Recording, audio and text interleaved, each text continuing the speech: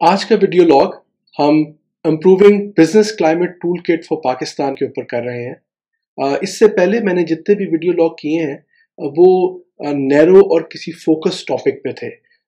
For example मैंने आपके सामने पाकिस्तान में एक्सपोर्ट को 60 बिलियन डॉलर तक 2030 तक हम किस तरह पहुँच सकते हैं इसकी एक स्ट्रेटजी प्रेजेंट की। हम अपने मुल्क में रिसर्च एंड डेवलपमेंट को कैसे बिल्ड कर सकते हैं। इसकी एक स्ट्रेटजी आपके सामने रखी। इसी तरह एक्सटेंशन की और मुख्तलिफ़ चीज़ों की स्ट्रेटजीज मैंने आपके सामने रखी। ये फ़ंक्शंस हैं। ये एक एक फ़ंक्शन है एक्सपोर्ट करना रिसर्च करना एक्सटेंशन या एडवाइजरी सर्विसेज़ देना। तो ये एक महदूद लेवल की एक महदूद फ़ंक्शन पे के ऊपर स्ट्रेटजीज हमने आपके सामने प्रेजेंट की। इसी तरह कुछ ब्लॉग्स जो मैंने आपके सामने रखे वो सेक्टोरल बेस थे।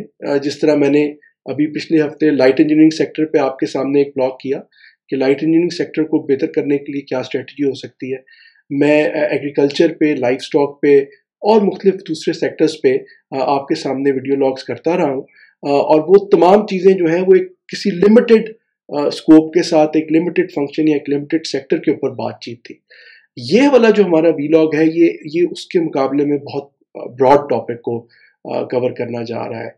पाकिस्तान में मौजूद तमाम बिजनेसेस को, वो एग्रीकल्चर से ताल्लुक़ रखते हों, वो स्मॉल एंड मीडियम एंटरप्राइजेज हों लार्ज स्केल बिजनेसेस हों माइनिंग से ताल्लुक़ रखते हों सर्विसेज़ इंडस्ट्री के हों, उन तमाम बिजनेसेस पे इम्पैक्ट आता है आपके बिज़नेस क्लाइमेट का। कि आपका बिज़नेस क्लाइमेट उन तमाम बिजनेसेस के लिए कितना कंड्यूसिव है, कितना अनेबलिंग है, इस चीज़ से उन बिजनेसेस की ओवरऑल परफॉर्मेंस पे इम्पैक्ट पड़ता है। तो ये आज का हमारा टॉपिक है improving business climate tool kit for Pakistan इसमें हमने किया ये है कि बारह कंपोनेंट्स डिफाइन किए हैं। क्योंकि अक्सर देखने में आया है कि पॉलिटिकल गवर्नमेंट्स जब आती हैं तो उनका एक अपना ख़ास किस्म का मैनिफेस्टो होता है, जिसकी वजह से वो चंद एरियाज़ पे ज़्यादा फोकस करते हैं और उसमें होता ही है कि दूसरे एरियाज़ अक्सर जो है वो इग्नोर होते जाते हैं। और अनलेस कि हम एक बैलेंस्ड अप्रोच नहीं लेंगे और तमाम इंपॉर्टेंट एरियाज़ के अंदर इन्वेस्टमेंट्स नहीं करेंगे, जिस तरह इस केस में हमने बारह एरियाज़ डिफाइन किए हैं तो उस वक्त तक एक अच्छे तरीके से बैलेंस तरीके से हमारी बिज़नेस इन्वायरमेंट जो है वो इम्प्रूव नहीं हो सकेगी, बेहतर नहीं हो सकेगी और आपको कुछ ना कुछ कमी जो है आपकी वो बिज़नेस क्लाइमेट के अंदर रह जाएगी, जिसकी वजह से आपके बिजनेसेस अच्छे तरीके से ग्रो नहीं कर सकेंगे। तो ये इसका मकसद भी इस इस फ्रेमवर्क को सामने रखने का यही है कि एक बैलेंस्ड इन्वेस्टमेंट पोर्टफोलियो को प्रमोट करने के लिए एक स्कोर कार्ड आपके सामने रखा जाए, ताकि वो जो तमाम इंपॉर्टेंट कंपोनेंट्स हैं, इस केस में बारह हमने दिए हैं उनके अंदर गेज कर सके, देख सके स्ट्रेटजीज बिल्ड कर सके कि कैसे उनमें बेहतरी और इम्प्रूवमेंट लाई जा सकती है, ताकि ओवरऑल हमारा इन्वेस्टमेंट क्लाइमेट जो है इम्प्रूव कर सके। इससे ना सिर्फ़ मुल्क में लोकल इन्वेस्टर का हौसला बढ़ता है कॉन्फिडेंस बढ़ता है, बल्कि इंटरनेशनल इन्वेस्टमेंट्स को लाने में भी बहुत आसानी आ जाती है। इससे पहले कि हम इन बारह कंपोनेंट्स को थोड़ी थोड़ी डिटेल में डिस्कस करें मैं आपके सामने कुछ दो बातें, कुछ डिस्क्लेमर्स रखना चाहता हूँ, जिनको यहाँ पे बयान करना ज़रूरी है। एक तो ये कि ये बारह कंपोनेंट्स हमारे, मैं, मेरे और मेरे एक साथी के पर्सनल एक्सपीरियंसेस जो हमने एक, एक मुख्तलिफ़ सेक्टर्स में काम करते हुए एक ज़िंदगी का बड़ा हिस्सा गुजारा है उसमें से जो चीज़ें आइडेंटिफाई की जो चैलेंजेस जो issues small and medium enterprises face करते हैं छोटे माइक्रो लेवल एंटरप्राइजेस फेस करते हैं फ़ार्मिंग कम्युनिटीज़ फेस करती हैं उनसे जो निकलने वाले इश्यूज़ उनसे निकलने वाली जो अंडरस्टैंडिंग और इन्फॉर्मेशन है, उसकी बुनियाद पर ब्रेन करके ये बारह कंपोनेंट्स हमने डिफाइन किए हैं। इसमें कोई स्पेसिफिक टॉपिक के हवाले से कोई रिसर्च शामिल नहीं है। ये हमारे अपने पुरानी रिसर्च और पुराने एक्सपीरियंसेस की बेसिस पे आपके सामने पेश कर रहे हैं। ये मेरी राय में तो काफ़ी क्लोज होगा एक अच्छा स्टार्टिंग पॉइंट है। लेकिन अगर इसमें प्राइमरी रिसर्च का एलिमेंट भी शामिल कर लिया जाए तो इसमें अगर कोई फर्दर एडिशन डिलीशन कोई स्ट्रेंथनिंग होनी है तो वो फिर इसमें की जा सकती है। दूसरी चीज़ जो इस, इस में मेंशन करने की ज़रूरत है वो ये कि ये फ्रेमवर्क हमारे मुल्क की जोग्राफिकल जुरिस्डिक्शन के अंदर होने वाली एक्टिविटीज़ को सिर्फ़ टैकल करता है। हमारे एक्सटर्नल फैक्टर्स जो हैं उनको ऑब्वियसली हम एड्रेस नहीं कर सकते। वो हमारे मुल्क की जुरिस्डिक्शन से, हमारी गवर्नमेंट की जुरिस्डिक्शन से बाहर हैं। वो हमारे बिज़नेस इन्वायरमेंट पे इम्पैक्ट ज़रूर करते हैं। हम इन बारह कंपोनेंट्स पे फोकस करके एक बफर ज़रूर क्रिएट कर सकते हैं कि एक्सटर्नल फैक्टर हम पे कम से कम असर डालें। लेकिन वो एक्सटर्नल फैक्टर्स बहरहाल होते रहते हैं दुनिया में और उनका इम्पैक्ट भी आपके बिज़नेस पे पड़ता है। और इसकी वाज मिसालें हमने देखी। टेररिज्म जो है, एक जंग हमारे खत्े में शुरू हुई को हम शुरू नहीं हमने किया लेकिन उसका इम्पैक्ट हमारे मुल्क पे आया। इंटरनेशनल इकनॉमिक स्लो डाउन हमने फेस किए जो ओरिजिनेट दुनिया के किसी और खत्े में हुए, लेकिन उसका इम्पैक्ट हमारे मुल्क के बिज़नेस पे भी आया। इसी तरह ये जिस पेंडेमिक से आज हमें गुजर रहे हैं ग्लोबल हेल्थ प्रॉब्लम है इस, ये हमारे मुल्क से ओरिजिनेट नहीं हुआ, लेकिन ऑब्वियसली हमारी इकोनॉमी पे, हमारे बिज़नेस पे इसका भी इफ़ेक्ट आ रहा है। तो ये अंडरस्टैंड करने की ज़रूरत है कि ये जो बारह कंपोनेंट्स हैं, ये हमारे इंटरनल इश्यूज़ को इंटरनल स्ट्रेंथनिंग की तरफ़ फोकस करते हैं और एक्सटर्नल फैक्टर से किसी हद तक हमें इंसुलेट करने में हेल्प ज़रूर देते हैं, लेकिन उनको रोका ऑब्वियसली नहीं जा सकता। तो आइए चल के देखते हैं कि ये बारह कंपोनेंट्स क्या है, इनको थोड़ा थोड़ी थोड़ी डिटेल में डिस्कस भी करते हैं। Improving business climate tool kit for Pakistan का पहला कंपोनेंट है industry policy and sectoral strategies का। इसमें देखा यह जाना चाहिए है कि क्या पाकिस्तान में फॉर्मल तरीके से इंडस्ट्रियल पॉलिसीज़ बनाई जाती हैं क्या वो रिसर्च बेस्ड होती हैं, क्या उसमें तमाम स्टेक होल्डर से कंसल्ट किया जाता है ये जो पॉलिसीज़ हैं, क्या ये इन आइसोलेशन है?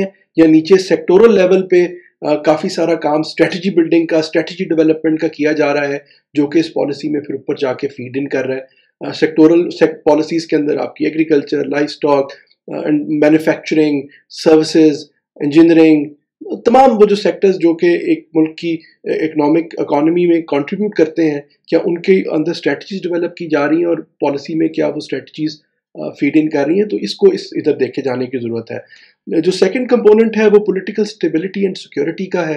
आपने देखा कि टेररिज्म की वजह से हमारे मुल्क की मीशत पे, हमारे मुल्क के बिज़नेस इन्वायरमेंट पे कितना नेगेटिव इम्पैक्ट आया। इसी तरह पॉलिटिकल इंस्टेबिलिटी जब होती है तो उसका भी एक नेगेटिव इम्पैक्ट आता है। तो किस हद तक आपकी आपकी, आपका मुल्क जो है इन एरियाज़ में इन्वेस्ट कर रहा है कि आपका पोलिटिकल ट्रांजिशन जो है, वो कम से कम ख़राबी के साथ किए जा सकें, किस हद तक आपके मुल्क में पॉलिटिकल और सिक्योरिटी के हवाले से एक स्टेबल स्टेबल इन्वायरमेंट जो है बिज़नेस को दिया जा रहा है। तीसरी चीज़ जो है वो फ़िज़िकल इंफ्रास्ट्रक्चर और कनेक्टिविटी की है। अच्छा ये एक एरिया है कि जिसमें ज़्यादातर गवर्नमेंट्स बहुत ज़्यादा फोकस करती हैं और यहाँ पे काफ़ी सारी इन्वेस्टमेंट जाती रही भी है और अभी भी जा रही है। इसमें इनपुट साइड पे आपकी एनर्जी के इंफ्रास्ट्रक्चर हैं डिजिटल इंफ्रास्ट्रक्चर है इंटरनेट के हवाले से, two two G three G four G and so on और मार्केटिंग साइड पे अगर देखें तो सड़कें हैं कि जो प्रोडक्शन सेंटर्स को मार्केटिंग सेंटर्स से लिंक करती हैं डोमेस्टिक मार्केट में भी, और फिर आपके पोर्ट्स हैं जिसमें एयरपोर्ट्स आपके सी पोर्ट्स रेलवे का निज़ाम है। तो ये सारा वो सिस्टम है जो कि कनेक्टिविटी बेशक वो एनर्जी सोर्सेज से हो सप्लाई सोर्सेज से हो मार्केट के साथ हो, वो उन, उस सारे इंफ्रास्ट्रक्चर के डेवलपमेंट को जो है यहाँ पे कवर किया जाता है। और ये एक एरिया है जिसमें किसी हद तक सी की वजह से भी और हमारी इकनॉमिक ओवरऑल जो एक एक ओरिएंटेशन है माशरे की उसके हवाले से भी इस एरिया में थोड़ा सा हमारा फोकस हमेशा ज़्यादा रहा है। इसका मतलब ये नहीं है कि आगे ये फोकस नहीं रहना चाहिए, लेकिन थोड़ा सा हमें दूसरी एरियाज़ में भी फोकस करना चाहिए। Orientation to quality and standardisation ये एक एरिया जहाँ पे अगेन हम कमज़ोर रहे हैं। दुनिया जो है वो क्वालिटी स्टैंडर्ड्स क्वालिटी सर्टिफिकेशन की तरफ़ मूव करती जा रही है। बहुत सारी ऐसी चीज़ें हैं जो दुनिया की मंडियों तक आप लेके ही नहीं जा सकते जब आप, जब तक आप एक बुनियादी क्वालिटी का निज़ाम जो है, जो कि दुनिया में एक्सेप्टेबल भी हो और आपके मुल्क में एप्लीकेबल हो वो आप अडॉप्ट नहीं कर लेते। और इस किस्म, इस एरिया में हम हम बिल्कुल काम ना होने के बराबर है। हमारे मुल्क में क्वालिटी से ज़्यादा प्राइस बेस्ड कंपटीशन होता है। गवर्नमेंट भी प्राइस को कैप करने की प्राइस को कंट्रोल करने की एफर्ट में पड़ी रहती है। जिसकी वजह से लोकल मार्केट में भी हम सफ़र करते हैं क्वालिटी के स्टैंडर्ड्स ना होने की वजह से। और इंटरनेशनल मार्केट्स में भी हमारी रसाई जो है, वो लिमिटेड हो जाती है। इसका जो पांचवा कंपोनेंट है, वो है human competence and labour skills का। ये अगेन आपकी जो सारी मीशत है, जहाँ पे उसमें एक तरफ़ टेक्नोलॉजी का एक रोल है, वहाँ पे बहरहाल उन सारी चीज़ों को चलाना जो है वो इंसान ने है। ह्यूमन कॉम्पिटेंस की ज़रूरत इसलिए आपको चाहिए कारोबार को चलाने के लिए। तो किस हद तक वो कॉम्पिटेंस आप मैनेजीरियल लेवल पे दे रहे हैं स्किल डेवलपमेंट लेवल पे दे रहे हैं टेक्निकल लेवल पे दे रहे हैं, इन सारी चीज़ों को देखने की ज़रूरत है।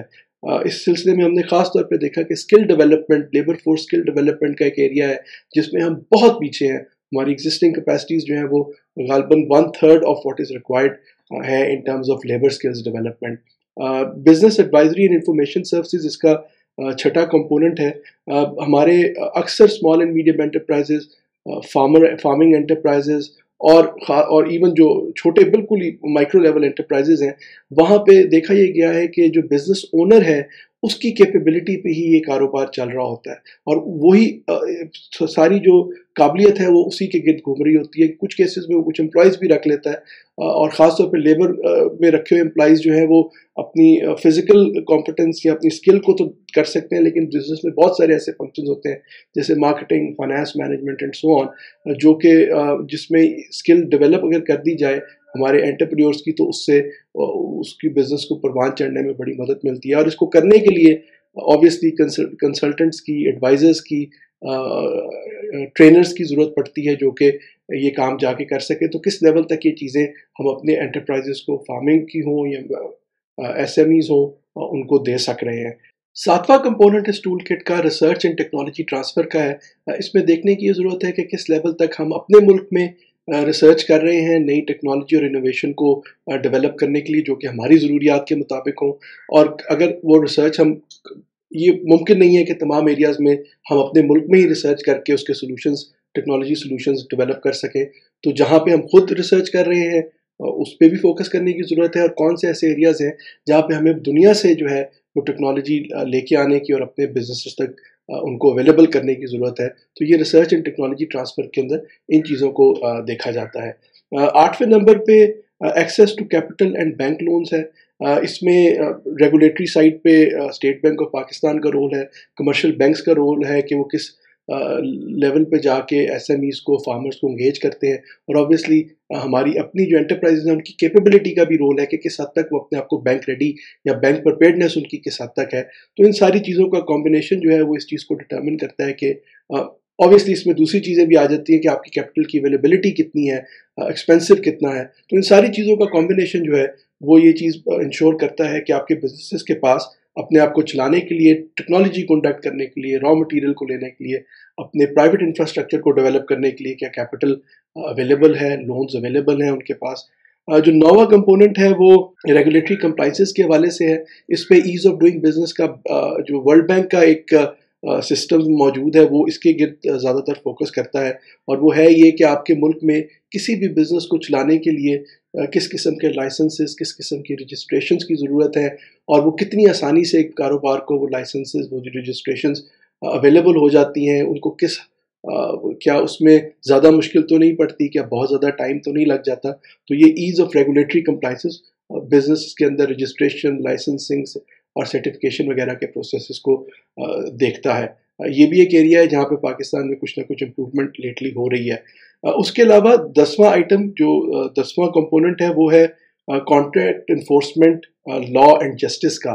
देखिए, कोई भी कारोबार आता है, खासतौर पे जो छोटा और कमज़ोर बिजनेसमैन है या कोई इंटरनेशनल बिजनेसमैन है जो कि लोकल कल्चर से बहुत ज़्यादा उसको पता नहीं है तो वो ये चीज़ ज़रूर देखना चाहता है कि किस हद तक यहाँ पे कानून जो है वो फॉलो हो रहा है। जब वो किसी कॉन्ट्रैक्ट में एंटर होता है तो क्या उस कॉन्ट्रैक्ट की इन्फोर्समेंट उसके लिए आसानी से हो जाएगी? ये तो नहीं है कि जिस पार्टी के साथ वो कॉन्ट्रैक्ट में जा रहा है, वो पार्टी कॉन्ट्रैक्ट से मुकर जाएगी और इस किस्म का कोई निज़ाम ही मौजूद नहीं है, जो कि उस पार्टी को ये इन्फोर्स कर सके, उसके ऊपर ये प्रेशर डाल सके कि नहीं, आप इस कॉन्ट्रैक्ट से नहीं निकल सकते। तो कॉन्ट्रैक्ट इन्फोर्समेंट लीगल सिस्टम्स हमारे कितने स्ट्रॉन्ग हैं, इंसाफ महँगा है या सस्ता है, कितनी स्पीड से आपके कारोबार को मिल जाता है, इन सारी चीज़ों का भी एक कंड्यूसिव बिज़नेस इन्वायरमेंट को पैदा करने में एक बड़ा इंपॉर्टेंट रोल होता है। इसके अलावा जो ग्यारह कंपो ग्यारहवा कंपोनेंट है, वो है environmental and climate smart practices का। ये एक बहुत बड़ा अमर्जिंग इशू है जिस पे दुनिया की फोकस बढ़ता जा रहा है। वो तमाम बिजनेसेस जो कि ग्रीन हाउस गैस एमिशन ज़्यादा करते हैं या जिनके ऊपर क्लाइमेट चेंज का इम्पैक्ट आना है, जैसे एग्रीकल्चर पे क्लाइमेट चेंज का इम्पैक्ट ज़्यादा आना है तो वो तमाम बिजनेसेस जो हैं उनको देखना पड़ेगा एक तरफ़ कि वो मिशन को कम से कम कैसे कर सकते हैं और दूसरी तरफ़ ये कि वो अपने आप को जो क्लाइमेट के इफ़ेक्ट्स हैं, उनसे सेफ़ कैसे कर सकते हैं। तो आने वाले वक्तों में इस चीज़ की अहमियत बहुत ज़्यादा बढ़ती जाएगी कंज्यूमर्स की अवेयरनेस इस बारे में बहुत ज़्यादा बढ़ती जाएगी। तो हमें अभी से ही इस चीज़ को देखने की ज़रूरत है कि इस एरिया में कैसे हम फोकस कर सकते हैं, कैसे हम देख सकते हैं कि हमारे बिजनेसेस किस हद तक इसके लिए इस आने वाले इमर्जिंग ट्रेंड के लिए तैयार हैं। इसके अलावा social protection and gender inclusion ये आखिरी और या बारवा कंपोनेंट है। एक तो मतलब बड़ी सीधी सीधी असेसमेंट है कि एक एक अंदाजे के मुताबिक अगर पाकिस्तान में ख़वातीन को जो है वो इकॉनमी के अंदर मेन स्ट्रीम कर लिया जाए तो उससे ही पाकिस्तान की जीडीपी में तीस फ़ीसद इजाफा का एंटिसपेट किया जा रहा है कि जब पाकिस्तान की तमाम खवतिन हमारे कारोबारी दायरे में एम्प्लॉयमेंट के दायरे में इकनॉमिक इकॉनमी के दायरे में एंटर हो जाएँगी तो तीस फ़ीसद हमारी जीडीपी को सिर्फ़ इस चीज़ से ही ग्रोथ मिल जाएगी। दुनिया भर में ये चीज़ हो चुकी है, हम थोड़ा सा पीछे हैं। उसके अलावा सोशल प्रोटेक्शन के अंदर खातन के अलावा चाइल्ड लेबर के इश्यूज़ हैं और लेबर लेबर लॉज के इश्यूज़ हैं। तो इन चीज़ों की वजह से हम अब पास्ट में भी सफ़र करते रहे हैं, हमारे बिजनेसेस जो हैं, उनकी रेपुटेशन भी ख़राब हुई है और जिसकी वजह से हमें बिज़नेस लॉसेस भी देखने पड़े हैं। तो किस हद तक हमारी तैयारी है कि हम इन सोशल प्रोटेक्शन के इश्यूज़ पे और जेंडर इंटीग्रेशन के इश्यूज़ पे जो है, हम इनक्रेज करें अपने लोगों को ताकि ये चीज़ें जो हैं, एक तरफ़ हमें इन रिस्क से प्रोटेक्ट कर सकें, दूसरी तरफ़ हम एक अच्छे माशरे की तरफ़ जा सकें। और तीसरी इसका बेनिफिट ऑब्वियसली है कि इसके इकनॉमिक बेनिफिट्स भी बड़े डायरेक्टली है, जिस तरह मैंने आपको बताया कि तीस फ़ीसद तक हमारी जीडीपी में सिर्फ़ ख़वातीन को इंटीग्रेट करने से ही जो है वो इम्प्रूवमेंट आने की पॉसिबिलिटी है। तो ये थी जी हमारी improving business climate tool kit for Pakistan ये बारह कंपोनेंट्स एक बैलेंस्ड अप्रोच रखने के लिए प्रेजेंट करने के लिए रखे गए हैं कि कैसे आने वाले दौर में हमारे प्लानर्स हमारी गवर्नमेंट ये इंश्योर कर सकती हैं कि हमारी इन्वेस्टमेंट जो है, वो एक तरफ़ या दूसरी तरफ़ स्क्यूड नहीं है, बल्कि एक बैलेंस तरीके से जो है, वो इन तमाम एरियाज़ में की जा रही है ताकि पाकिस्तान के बिज़नेस के लिए एक बेहतर से बेहतर कंड्यूसिव बिज़नेस क्लाइमेट जो है वो पैदा किया जा सके।